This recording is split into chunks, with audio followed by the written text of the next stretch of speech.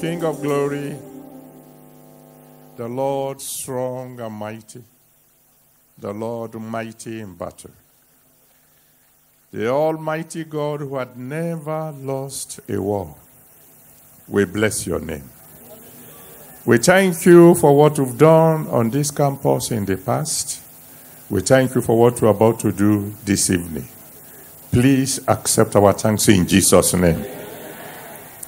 On behalf of every one of your children here today, and all those who might be listening to us all over the world, please arise. Fight our battles for us. Scatter all our enemies. Let your light shine and dismiss every force of darkness on this campus. My Lord and my Savior, I'm praying that everyone here today will receive a touch from you. It is written, He sent His word and He healed them and delivered them from all their disruptions. Even as your word will be going forth today, please heal the sick, set the captives free. And Lord God Almighty, save souls tonight. And just put the devil to shame and let your name be glorified. Father, I pray that everyone who had come to this ground today will go home singing a song of victory. Father, once again, we commit Obafemi Awolowo University into your hands. Take absolute control of this university. Prosper this university. Move this university from glory to glory.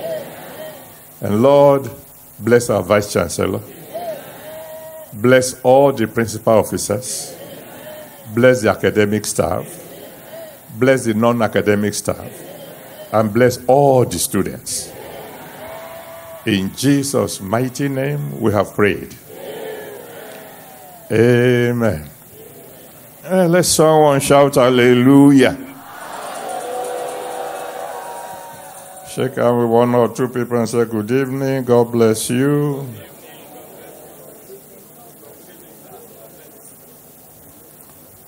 And then you may please be seated.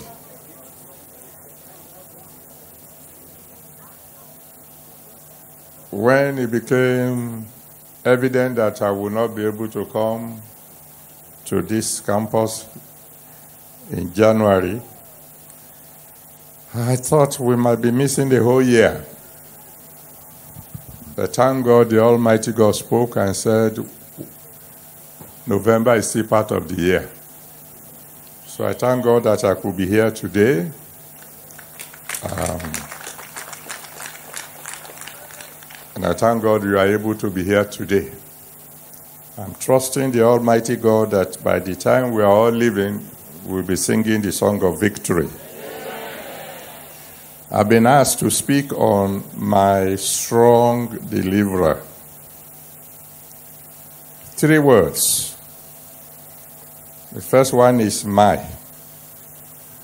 And that means that whatever God is going to do here tonight is going to be done on individual basis. He didn't say our strong deliverer, which means even though we are quite a crowd, it is possible that the Almighty God will attend to only one person. And uh, if you are that person that He will attend to, let me hear you shout hallelujah.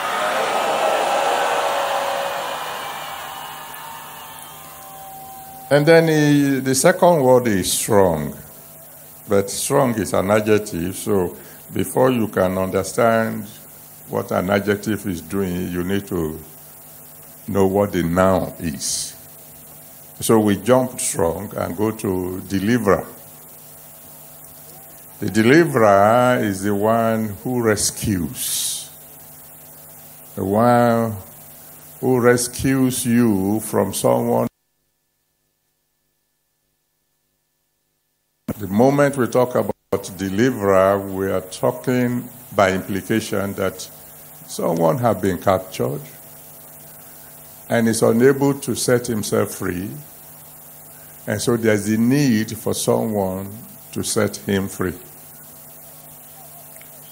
And then when we talk about strong, of course, we automatically imply that there, there is, could be someone who is weak. And it's because of the weakness that maybe is uh, captured. Or it might be because of the weakness that is unable to set himself free. We will try, God helping us in the next 30 minutes or so, to look at this topic. As we go along, if we are so led by the Holy Spirit, we'll call upon you to stand up and pray. If I were you, I would pray very well tonight. Because I'm believing God that every bondage will be destroyed tonight in Jesus' name. Psalm 18 from verse 1 to 3. Psalm 18 from verse 1 to 3. Says, I will love thee, O Lord, my strength. The Lord is my rock and my fortress and my deliverer, my God, my strength, in whom I will trust, my buckler and the horn of my salvation and my high tower. I will call upon the Lord, who is worthy to be praised. So shall I be saved from my enemies. In the name that's above every other name, all your enemies will be put to shame today. There is a deliverer. His name is the Lord of hosts. Psalm 24, verse 10. Psalm 24, verse 10 says, Who is the King of glory? And he said, The Lord of hosts is the King of glory. Now, Lord of hosts means the controller, the commander in chief of all the hosts the hosts in heaven, the hosts on earth, the hosts underneath the earth. Is the controller of angels. Is the controller of all hosts on the ground walking about. Is the controller of all demons. He is the Lord of hosts. When we talk about strength, the Bible calls him in the same Psalm 24 from verse 7 to 8. Psalm 24, 7 to 8. He said, He is the Lord, strong and mighty, mighty in battle, which tells you straight away he's not a civilian, he is a soldier, and he knows how to fight. How strong is this deliverer. Psalm 91, verse 1. Psalm 91, verse 1 tells us that he that dwelleth in the secret place of the Most High shall abide under the shadow of the Almighty. He is not just mighty, he is almighty. In other words, his might is completely unlimited. How strong you see, Isaiah 43, verse 13. Isaiah 43, verse 13, he says, There's no one strong enough to deliver from his own hand. So if he's the one who has captured someone, there is nobody anywhere that is strong enough to deliver from his hand. And then he says, if he wants to do something, if he wants to walk, nobody can hinder him. But then in Isaiah chapter 49, from verse 24 to 26, Isaiah 49, 24 to 26, he says he can deliver from anyone. No one can deliver from him, but he can deliver from anyone. He even went further to say that if the one holding you captive resists your being set free, he said he will feed that captor with his own flesh and cause him to drink his own blood. And I believe that's a word for someone straight away today. That every force that have been holding you captive, trying to hinder your progress, trying to hinder your joy, standing in the way of your success, if they won't let you go, they will pay with their own lives. Now, in Luke chapter 11, from verse 21 to 22, Luke 11, from verse 21 to 22, the Bible says, when a strong man, armed, keeps his house, then all his goods are safe. But when a stronger than he shall come upon him and overpower him and take away all the weapons in which he's trusting, then he can loot him completely. So the deliverer that we are talking about is the stronger one. Is the one who is stronger than the strongest. And I can assure you, in that name that's above every other name, that strength of His will be used for your deliverance today. Now, when we talk about deliverance, captivity can come in various forms. There could be physical captives. For example, in Luke chapter 13, from verse 11 to 17, Luke 13, from verse 11 to 17, the Bible tells us of a woman who was bent double and had been like that for 18 years. No matter how hard she tried, she could not straighten up because the doctors could not help her because what was wrong with her was not just physical, there was a force bending her double. The Lord called it the spirit of infirmity. There are many sicknesses and diseases that you find that the best of doctors could not handle. Like I told uh, my brethren at the teaching hospital this morning, demons do not appear on x ray. It doesn't matter how sophisticated your MRI machine may be, it's not going to record the presence of a demon. And when you cannot locate the point or the source of the problem, finding the solution becomes a problem. So when you hear that there is a sickness that we don't know the cure, or they say there is a sickness that we can cure, but we can only manage, then you know immediately this is not a medical problem, it's a spiritual problem. And I'm praying today that if there's anyone here being troubled by any spirit of infirmity, you'll be set free today in Jesus' name. Now, this deliverer is so strong that just one touch from him will set you free from any form of spirit of infirmity. In Matthew chapter 8, from verse 1 to 3, Matthew 8, from verse 1 to 3, we find the case of a leper.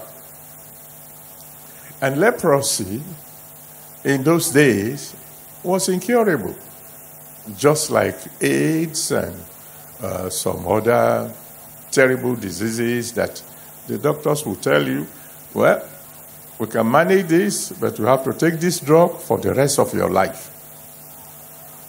And if there's anyone under that kind of situation today, I say the devil is a liar. Because the Almighty God will set you free tonight. Just one touch from the deliverer, and the leper became cleansed.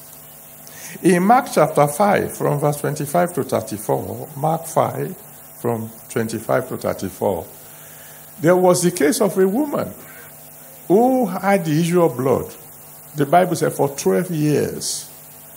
She went to the best of the physicians that were available, going from one physician to the other. But instead of getting better, she grew worse because her problem was not physical. But as soon as she managed to touch the hem of the garment of the great deliverer, miracle happened. And when you read Mark chapter 10, from verse 46 to 52, Mark 10, 46 to 52, you read about Bartimaeus. Bartimaeus didn't have eye problem. He had no eyes. He was born blind. There was nothing any human doctor could do for him. You can correct sights that are not properly uh, behaving. But what are you going to do when you are dealing with someone who was born blind? But there is someone who created everybody, who created you from the very beginning. And so if you missed something when you were coming into the world, it can give you a spare part. So if there's anything in your body today that the doctors have said this one is already beyond repair, before you leave here today, you will sing the song of victory. I will give you just one example before I call on you to pray your first prayer. There was this woman, a very wealthy woman, and she just discovered that whatever she ate, she will vomit. She went to the best of doctors. They tried everything they do they could. She just could not hold down any food. Finally, someone suggested that she should come to the headquarters of the Redeemed Christian Church of God because they believe God will perform a miracle for her when nothing else could help. And I mean, it's been all over the world. Spent all manners of money. And she came. And we have not even done any major thing at all. All I said was, let somebody shout hallelujah.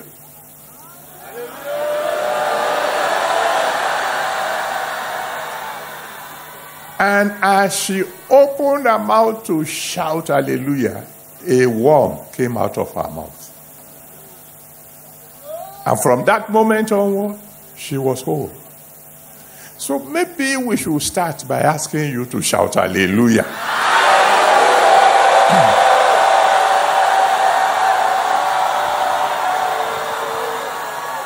and then, since you are already standing, why don't you just talk to him and say, Father, every plant you have not planted in me, uproot it right now. Open your mouth, let him hear you. You are the great deliverer.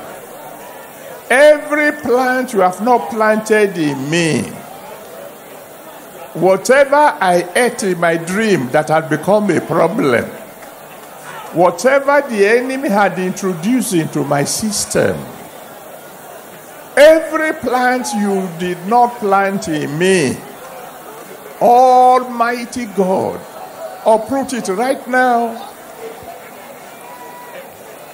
Uproot it right now. Uproot it right now. Every plant you have not planted in my system, everything in my blood that you did not put there, everything in my bones, in my flesh that does not originate from you Almighty God, uproot it right now. Uproot it right now. Whatever name the, medical doctors have called it, whether asthma or, or hypertension or this or that, everything that is not of God in my system, please uproot it right now. Operate it right now. Almighty God, please uproot it right now. Thank you, Father. In Jesus' mighty name we have prayed. And so shall it be in Jesus' name. Please be seated. And then there could be those who are mentally captive. We're not talking about those who are mad. We're talking about those who mental capacity have been tampered with. Ephesians chapter 4, verse 18. Ephesians 4, verse 18 says, The understanding of some people could be darkened by forces of darkness. Uh, Isaiah chapter 6, verse 9 to 10. Isaiah 6, verse 9 to 10 says, Some people can hear without understanding. And among our students, that should be easy to understand. The lecturer will be doing his best, teaching. Somehow you just could not understand. In 2 Corinthians chapter 4, from verse 3 to 4, 2 Corinthians chapter 4, verse 3 to 4, the Bible says the mind of people could be blinded by the devil. And you know what that one means? Because when you when, when somebody has been trying to explain something to you, and suddenly you you got a point, you understand. You say, I see. You're not talking about physical eye now, you are talking about the eye of understanding. I have been in the academic world for quite a while before the Lord called me into ministry. And I know the pain of students who work hard, who study hard, and yet they get to the examination hall and fail. I know situations when a very good student can get into the examination hall and just blank out. I've seen it happen. It has happened to me before. In our own days, I don't know of now, Degrees are in categories. We have what they call general degree. In general degree, you take three subjects. Because at that time, graduates were very few.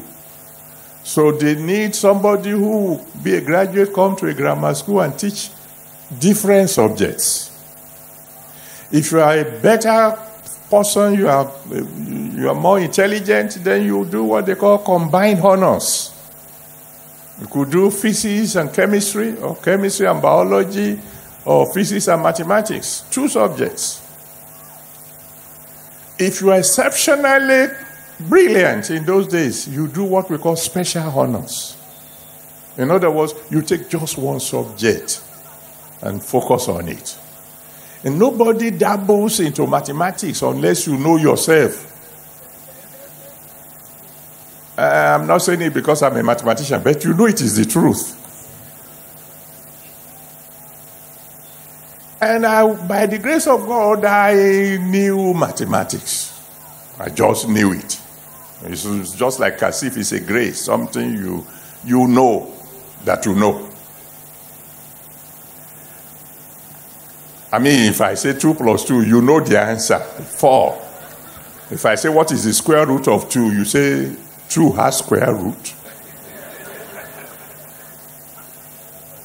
And say, was this particular subject that I, know, I probably I was the best in that particular aspect of mathematics. And I got into the examination hall. And they will ask eight questions and ask you to answer any five. I read the first question, I couldn't understand it. I read the second, no idea. I read the third, no idea. By now I was beginning to sweat.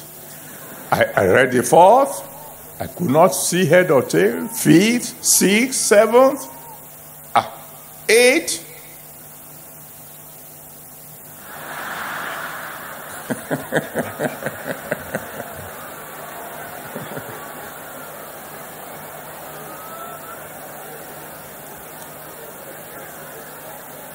and when I saw that I just couldn't understand anything, I just felt, well, I will leave.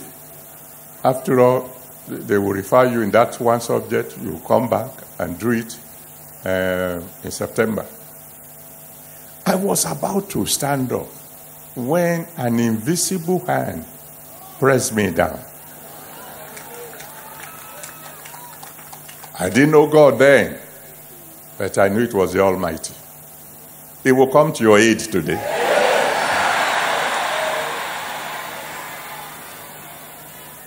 So I sat down. For 15 minutes, I saw all my colleagues writing furiously. I couldn't write anything. But after 15 minutes, I read the first question again. Uh-uh. This is this theory. I read the second. Uh-uh. This is this formula. I read it all. Uh-uh. I answered all eight. And like a, you know, like any child would do, I wrote at the top, mark any five.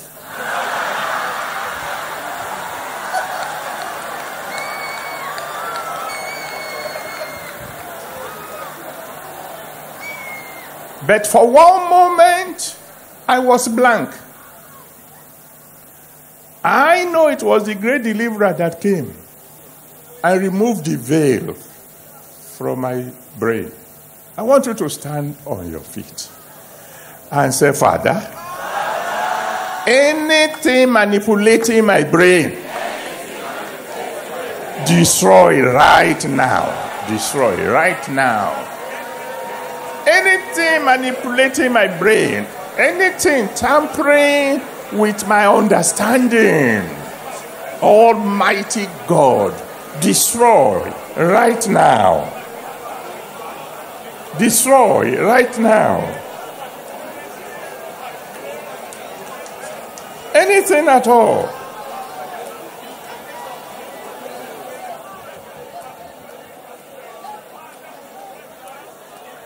Anything manipulating my brain, tampering with my memory, forcing around with my understanding. Father, destroy, destroy, destroy.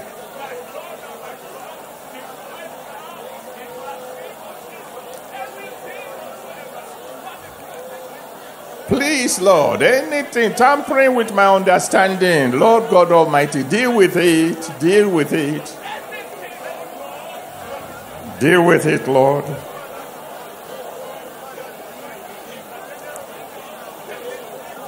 Thank you, Father.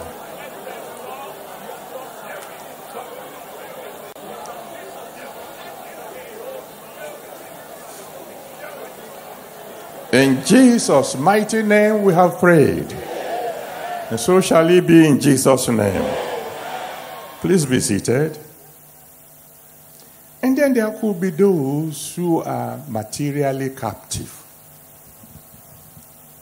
In the book of Haggai, chapter 1, verse 6, Haggai chapter 1, verse 6, the Bible tells us it is possible to earn wages into a bag of holes. In other words, you make money, but the money keeps on disappearing.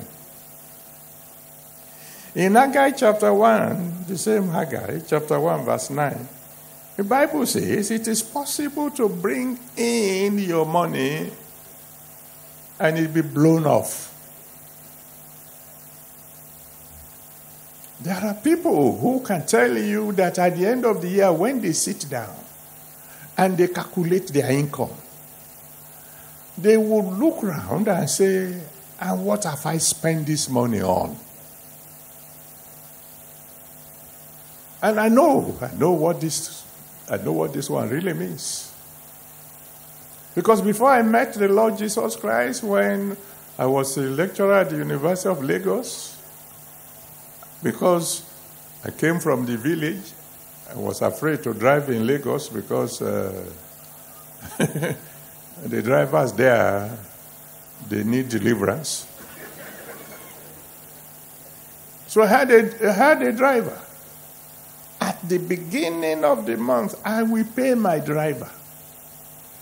By the middle of the month, I will be borrowing from my driver to buy petrol.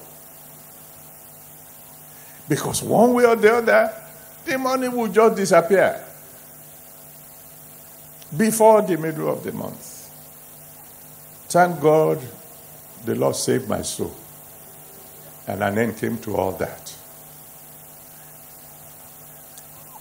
There are forces that can make sure that what you are earning is not producing the results it's supposed to produce. But that is going to change from today. Because according to Revelation chapter 3, verse 7, oh, thank you, Father. The Lord said there is someone here. He said the doctors says you have migraine. But he asked me to tell you it is not migraine, it's certain hands squeezing your brain. He said, but the hands are already cut off now.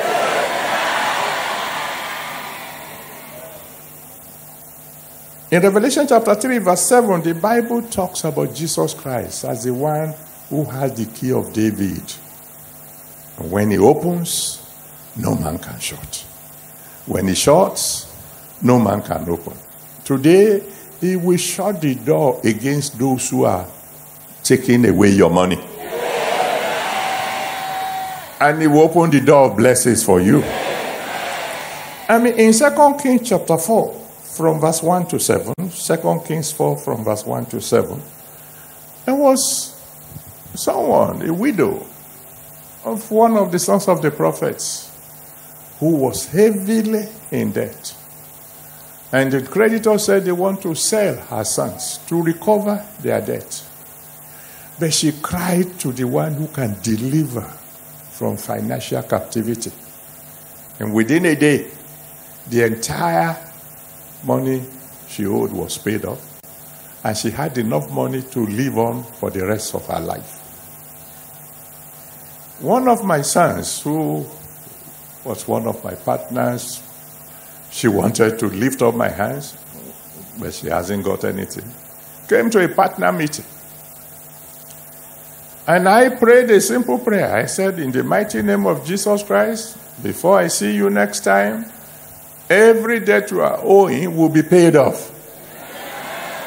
And he said, Amen. But in his testimony, he said, I just said, Amen. I don't know how God will ever do it. Some days later, the bank chairman or whoever, the CEO, called him and said, Sir, how are you going to pay this your debt? and my son said, Sir, even if I'm paying you one million naira a day, for the number of days that I've spent in this world, and he was over 50 years old, I can't finish paying.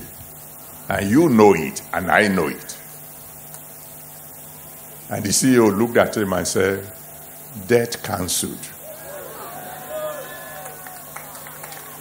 Every one of you in financial captivity, you come out of it today.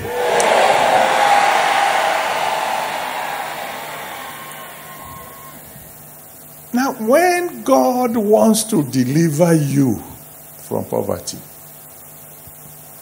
from financial captivity, he can use various methods. But for him, in my life, I won't be standing here. Because my parents were so poor. Poor people call them poor. Now that's in mathematics, that's poverty squared. I gained admission to Ilesa Grammar School. We were to pay a deposit of two pounds. That we were spending pounds in those days. They couldn't find two pounds. One way or the other, God provided. I got into the grammar school. After the first year, almost everything in the house was gone. By the time I managed to finish the second year, my mother went to see the principal and said, Now, he has done two years. Could you just give him a testimonial so he can go and teach? And the principal, for one reason or the other, said, Ah, let him do one more year, just one more year. Because in those days they have what they call the modern school. If he can do three years, and then we'll be able to give him not just a testimonial, we'll give him something like a certificate. Ah, okay. My mother came home, told my father, and they sold everything, cocoa plantation, little thing they had, they sold. I finished the third year. And my mother went back to the principal. Now he has done three years.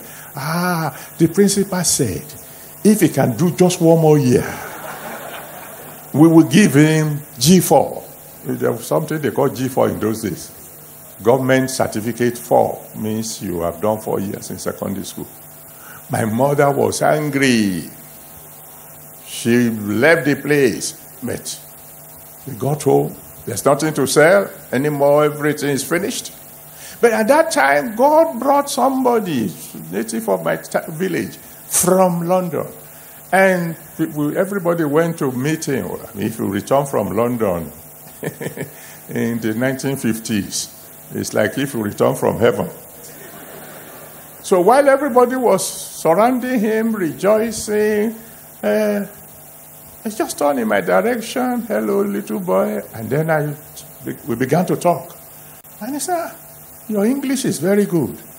I say, Oh, yeah, um, I'm a student of the grammar school. What class are you now? And well, I'm supposed to go to Form 4, but uh, there's no money. He arranged for the fourth year. After the fourth year now, my mother went back to the principal and said, Now he has done four years. And the man said, What kind of woman are you? Out of five years, we had already done four. You... my mother started weeping. And I wept that day like I've never wept before. But one way or the other, I don't want to bore you with my details. I finished school site because God was determined to bring my family out of the pit of poverty. I want you to stand on your feet and cry unto the Almighty God and say, Father, you are no respecter of persons. If you can do it for one, you can do it for me. Take my family out of the pit of poverty. Open your mouth and cry to the Almighty God. Oh, you are the great deliverer. If you can do it for one, you can do for others. You are no respecter of persons. Take my family out of the pit of poverty. There are several things I would love to do for you, oh my God. It's just that I don't have the means. Help me. Bring me, bring my family out of the pit of poverty. Let poverty end in my family. Do it. You are my strong deliverer. You are my strong deliverer. Please come to the aid of my family. Come to the aid of my family.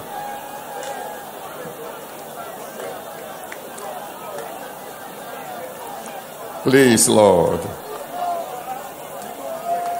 come to the aid of my family. Deliver us, Lord, from the bondage of poverty. Deliver us from the bondage of poverty.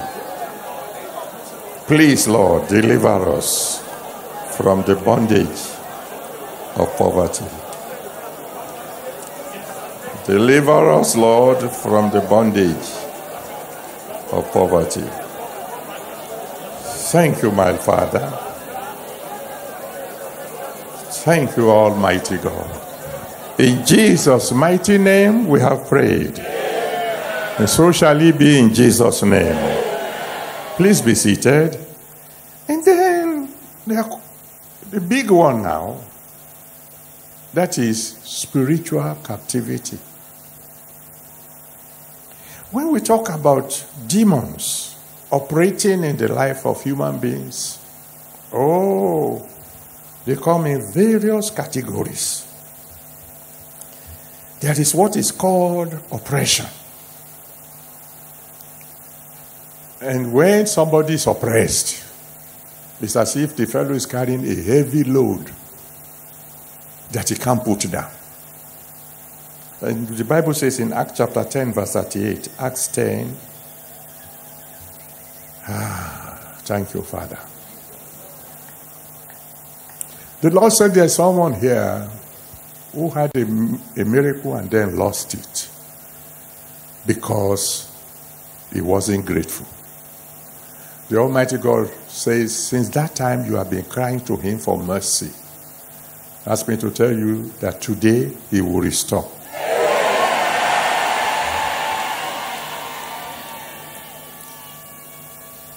Hmm. Daddy says there's someone here that each time you are about to have a breakthrough, you have a dream in which you see a particular woman and the breakthrough will slip. He asked me to tell you, you won't see that woman again.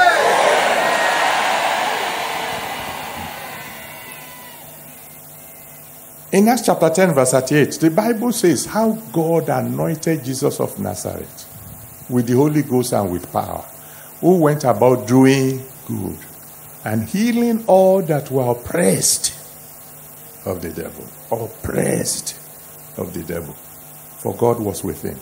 Oppression means you're carrying a burden that is too big for you and you just can't put it down. Whatever load you are carrying that is too big for you, the Almighty God will take it off you today. But oppression actually means that the enemy is coming from outside to attack you. It's not as if the demon is already in you. The, the demon is from outside attacking. And almost invariably, the agent of the devil doing the attack is someone close. Someone who can reach through to you. Uh, I'll give just one example. You probably had the testimony before. We were having a program like this and suddenly God spoke and said, There is a lady here that your mother is the one preventing you from being married. That if she does not let you go, she will be buried in seven days. And I just delivered the message the way I got it. The following day, one young lady must be about 30 uh, something years old or married, came with the mother, and the mother stormed into my office. Are you the one who said that I'm going to die? I said, How? I've never seen you. He said, You are the one, you are the kind of people teaching these young people some funny things. I still didn't understand. He said, My daughter came home and said that you said, if I don't allow her to marry, I will die. I said, ah. So I look at the girl. I said, I mentioned your name. that one said, No, but I know it's me you are talking to. How do you know? So I said, Mama, don't mind how. I didn't talk to her. I didn't mention your name. And I said, All that God said or that there is someone.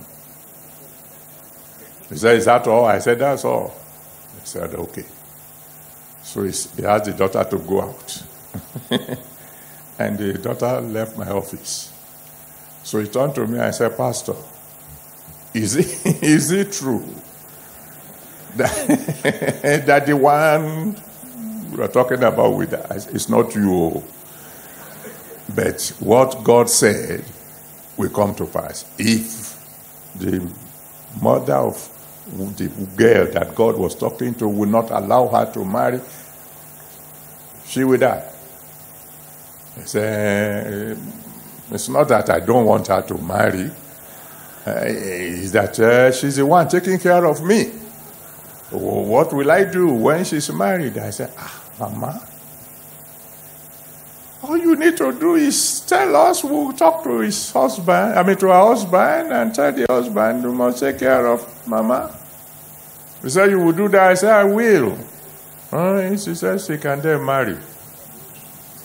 Six months later, the girl was married. If there is any force from outside standing in the way of your progress, standing in the way of your joy, in the mighty name of Jesus Christ, if they don't let you go, they won't see the new year.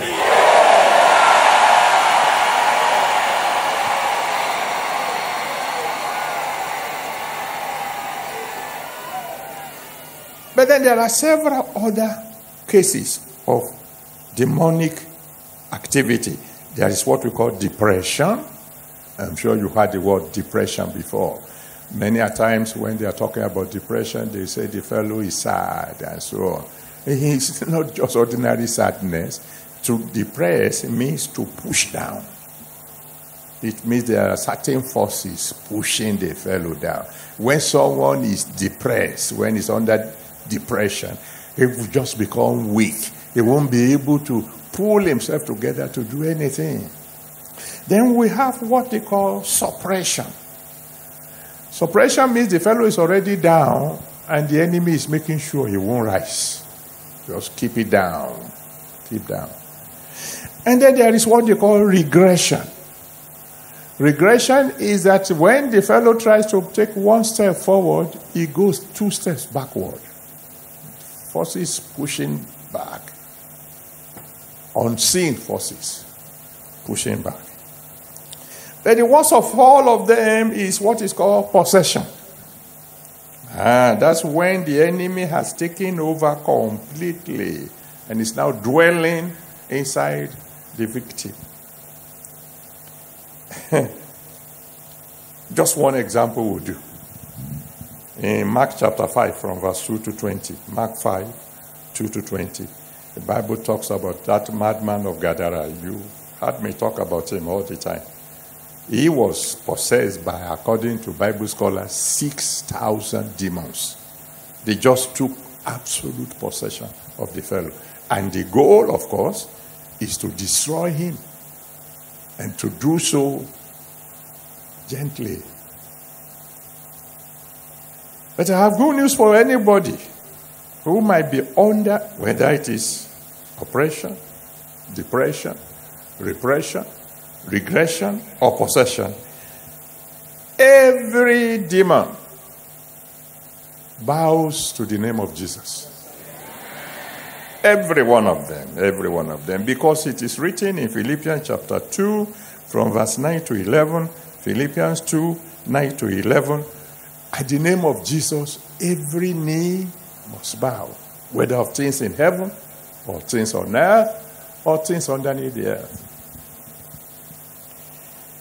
I feel like telling you several stories, but I will tell you just one that happened on this your campus. A friend of mine, as a matter of fact, an in law of mine, belonged to several cults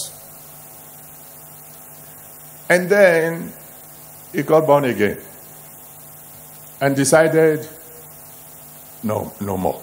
I want now to serve Jesus Christ. I've tasted darkness, I've tasted light. Light is better. So he returned all their books because he was the secretary to many of them. and one of the course he belonged to is even in the town, not the small, small one in the campus, the real big one. So they called him. What do you say you are doing? Were you not told when you joined that you can't leave? He said, ah, No, I've seen the light. Eh. They said they gave him seven days to change his mind and come back. He said, I'm not coming back. I've decided to follow Jesus. And Jesus all the way. Fine. We'll see wait seven days. Seven days passed. He went to the library to study. Came back at night and entered into the room. In his room, there were three beds one on the left, one on the right, and one across. His own was the one across, facing the door. And then he knelt down to pray. You know the kind of prayer you pray when you are tired. Lord, thank you for everything you've done today. See you tomorrow. and he climbed on the bed down, almost promptly, fell asleep. And then the Lord woke him up. Son, pray. Oh, maybe because I didn't pray, Lord. Okay, Lord, I thank you. You are my Savior. You are my uh, deliverer. Thank you for everything. Thank you that I know you now. See you tomorrow. And he fell asleep again. The third time the Lord woke him up. Son, pray. Ah, okay. Whatever it is. You want me to do a vigil? I do it. As he knelt down to pray, I'm talking of what happened on this campus. As he knelt down to pray, all of a sudden, he saw something coming through the door. Huge, black from top to bottom. There was no time to pray. But because he was already on his knee, there was enough time to shout a name. Let me hear you shout Jesus.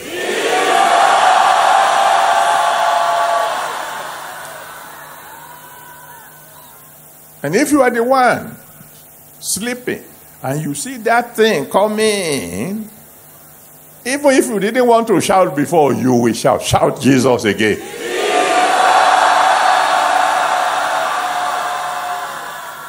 And when he shouted the name of Jesus, the thing stopped.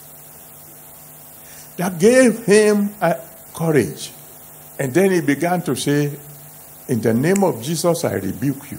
In the name of Jesus, I rebuke you. And as he was saying that, the thing began to go backwards. Until finally, he went out of the door.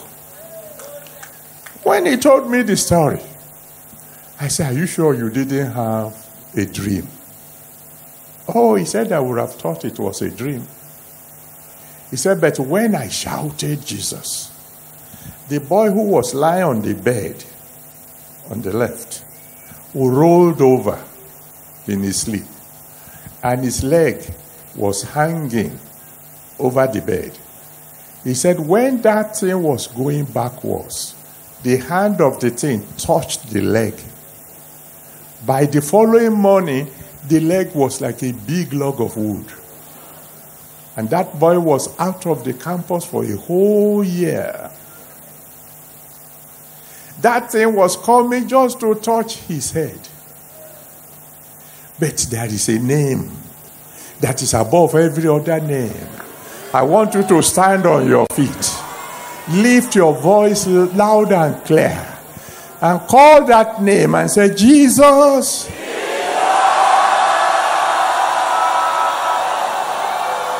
Every evil force in my life, I rebuke now.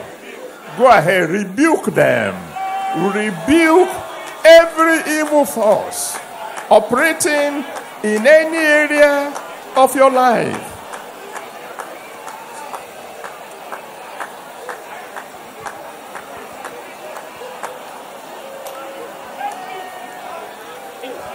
Every evil force trying to attack me, trying to attack my family, I rebuke in the mighty name of Jesus. Every evil force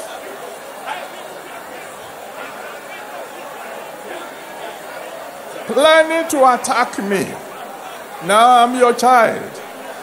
I belong to you. I rebuke every evil force. I rebuke every demon in the mighty name of Jesus Christ. I rebuke every evil force. I rebuke every evil force. I rebuke every evil force. Thank you, Jesus. Every evil force, Lord, attacking my home, attacking my ministry, attacking me physically, materially, spiritually, I rebuke in the mighty name of Jesus. In the mighty name of Jesus, I rebuke every evil force walking contrary to my destiny. Thank you, Father.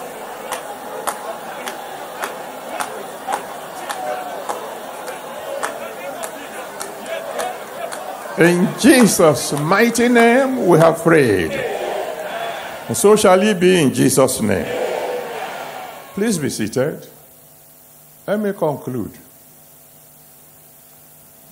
I can tell you stories upon stories of the power that is in the name of Jesus. How again and again and again he had delivered the captives. However, that name has no power in the mouth of someone who does not belong to Jesus. In Acts of the Apostles, chapter 19, you can read it from verse 11 to 17. Acts 19, from verse 11 to 17. The Bible tells us that God performed special miracles by the hand of Paul. So much so that from his body, handkerchiefs are torn, just like handkerchiefs can drive out demons. He will send his handkerchief on errand, and demons will get out when they see his handkerchiefs coming. Then some seven sons of Sceva, who are not Christians, were not born again. They had nothing to do with Jesus. They have, they've had Paul using the name. so they said, ah, we know the trick now. And so they saw a madman full of demons and went to him and said, In the name of Jesus that Paul preaches, we command you, demon, get out. Eh. and the devil answered and said, Jesus, I know. If he asks me to move, I will move. Paul, I know, is connected to Jesus. Jesus is backing him up. If he commands me to move, I will move. But who are you? Who are you? I'll tell you a story. And then we'll close. Some of you have heard it before. I was invited by the traditional ruler of one major town in Ogun State. He wanted to celebrate some beautiful things that God has done for him. Children returning from the United Kingdom qualified this miracle, that miracle. So he, he wanted to do a big Thanksgiving service. So he invited me to come and preach because he happened to be my son in the Lord. And so we got there, I had prepared my sermon, oh, that men should praise the Lord. But as we were getting ready for the service, his chiefs came to celebrate with him, but they were coming dressed in the regalia of their various secret societies. The usher saw them coming and ran to me and said, Sir, do you see those who are coming? I said, Yes. Are we going to allow them in the church? I said, ah, Of course. Put them on the front row. I was much younger then. I'm talking of uh, 1982 or so. So I didn't have the wisdom of age. As soon as I saw them representing Satan and myself representing the Lord of hosts, I changed my sermon. Changed my sermon to what happened on Mount Carmel. The, con- the contest between Elijah and the prophets of Baal. I preached a hot sermon. When I finished, I challenged all of them. I said, Those of you who are serving Satan, I came here eh, with my wife and my son in my car. This is the number of the car. I want you to use all your powers to make one of my tires go flat. I said, if you can do that, I will join you and begin to worship your God. If you can't do that, you must surrender to my God. And then I made the altar call. And the first fellow to come forward was the leader of all the chiefs. And he was the head of all the secret societies. and when the other chiefs saw their leader going forward, they followed. So we had a beautiful time. When we finished the service, the Kabiyesi said to me, he said, EA, that's, that's what he calls me. Let's visit my high chief. Let's find out if he understood what to say. Maybe he thought you were asking people to come forward for healing. So we went to him. And Kabiyesi said, Chief so so so.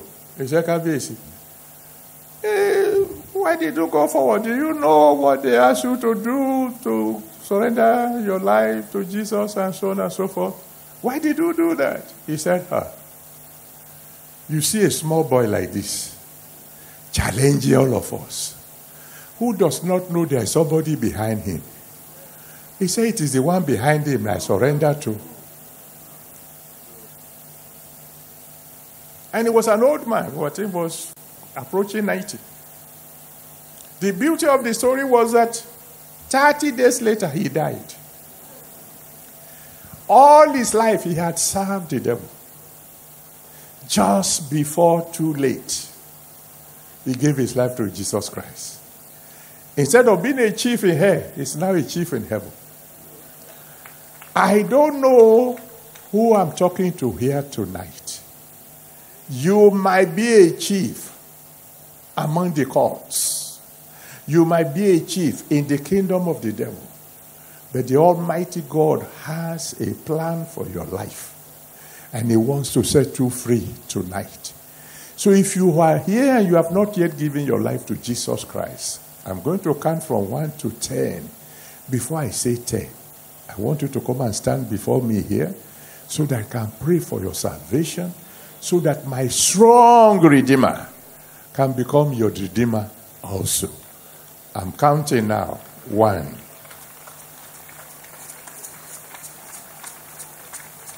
Let them come. Let them come. Remove the barrier, please. Don't wait for anyone. You might be the only one that the Almighty God wants to set free. The choice is yours. If you like, you can stay on with the devil. You will discover that when he has finished using you, he will deal with you the way he dealt with uh, Goliath. He will abandon you at a critical moment. But if you come to my great Redeemer, He will protect you from evil. His light will shine into your life, and you will have a brand new beginning. Two, come now. He's calling you. This is your day. This is your day of freedom from forces of darkness, your day of freedom from every form of captivity. Come. Three. Thank you. Those of you are clapping, your hands will never be empty. Clap for them as they come. Clap for Jesus as they come. Four. Hurry up, hurry up, hurry up. This is your day. Don't miss this opportunity. The Lord wants to set you free. He wants to save your soul and He wants to make you more than a conqueror. Five. Hurry up, hurry up, hurry up. Those of you are still on the way. Yes, I can see you running, but keep coming, keep coming. Six. Keep clapping. Your hands will never wither. Just keep clapping for Jesus as they come. Hurry up, hurry up, hurry up. Seven. Thank you, Jesus. Keep coming, keep coming. Keep coming. This is your day. This is your day. This is your day. Eight.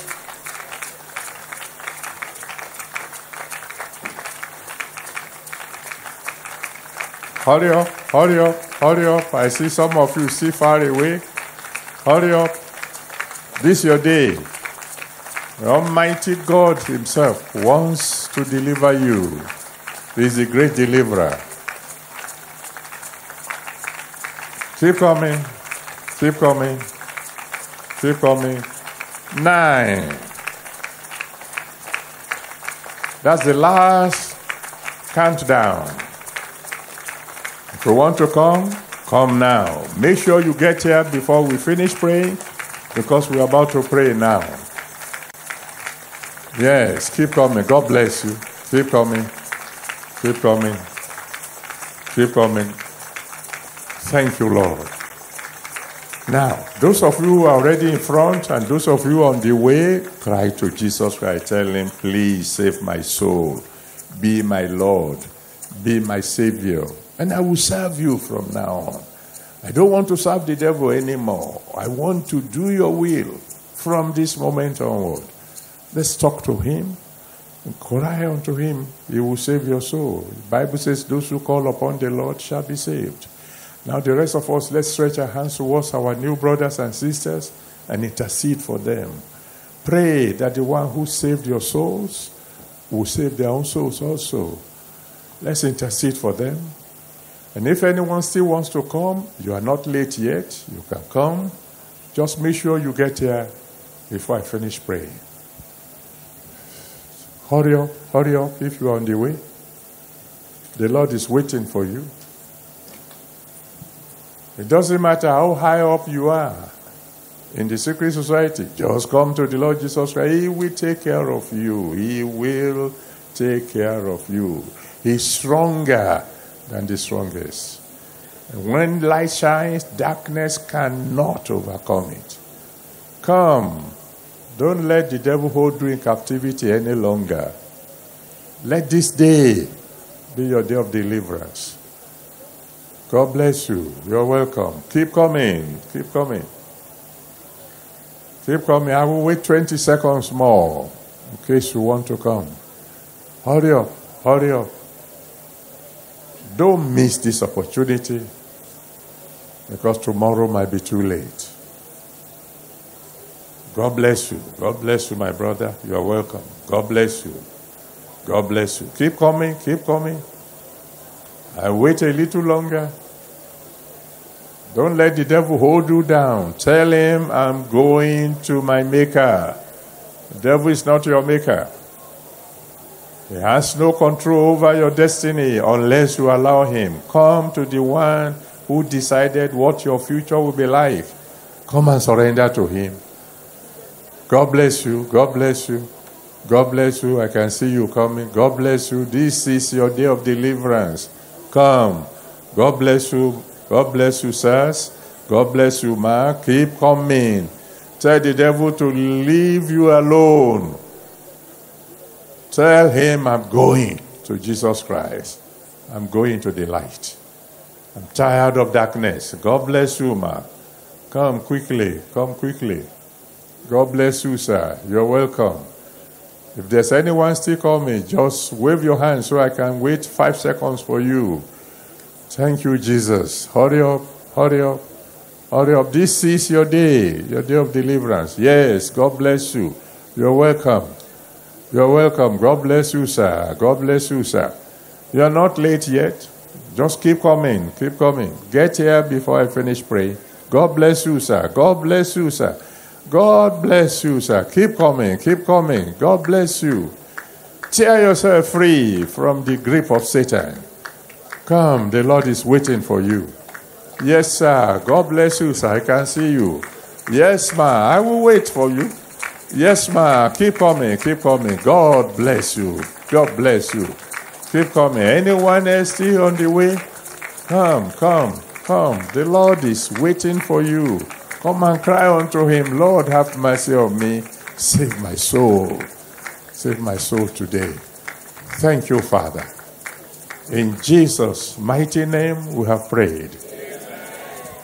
Savior, I just want to say thank you. Thank you for your word.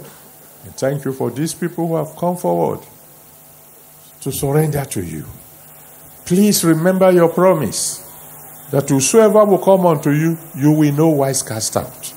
They've come to you now. Please receive them. Save their souls. Let your blood wash away their sins. Give them a brand new beginning. Receive them into the family of God. Write their names in the book of life. And Father, let your light shine into their lives. From now on, anytime they call on you, answer them by fire. And don't let them backslide. Let them serve you for the rest of their lives. In Jesus' mighty name, we have prayed. Amen. Ah, those of you in front, let me hear you shout hallelujah. Mm-hmm. I rejoice with you because from now on, by the special grace of God, I'll be praying for you. So I'm going to need your names, your address, and your prayer request. The counselors will give you a card, which I want you to fill very quickly, and then return it to them. We'll wait a few minutes for you to finish before we pray uh, the closing prayer, which is going to affect every one of us. Congratulations. God bless you.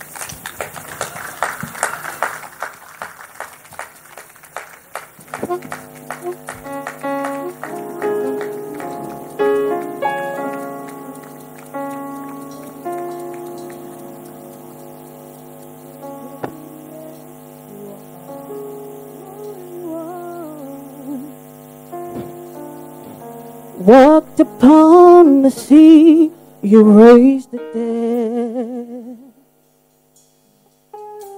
You reign in majesty, mighty God. Everything returns. Someone here, he said,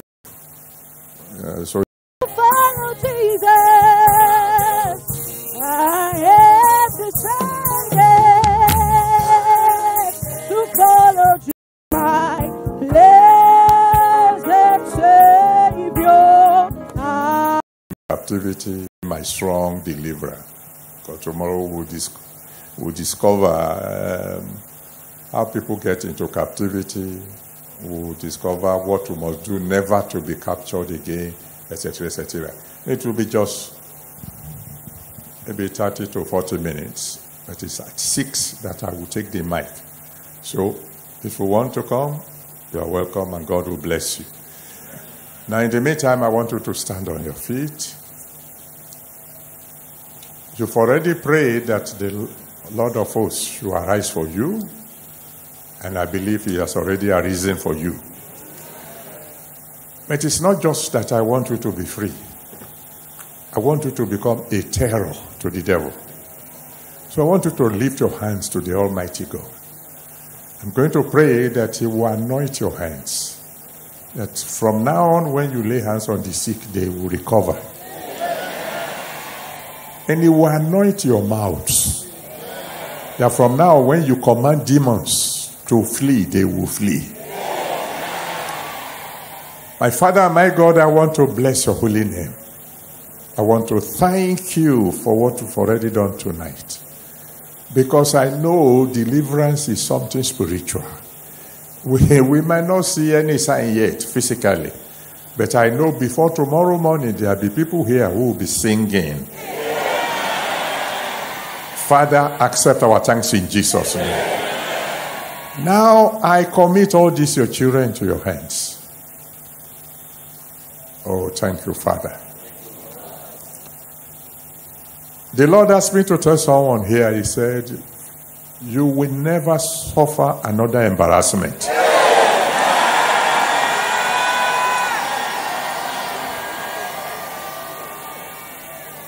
Ah, Thank you, Father. Daddy also says there's someone here, he said, You are extremely anxious about tomorrow. He asked me to tell you, your tomorrow will be all right.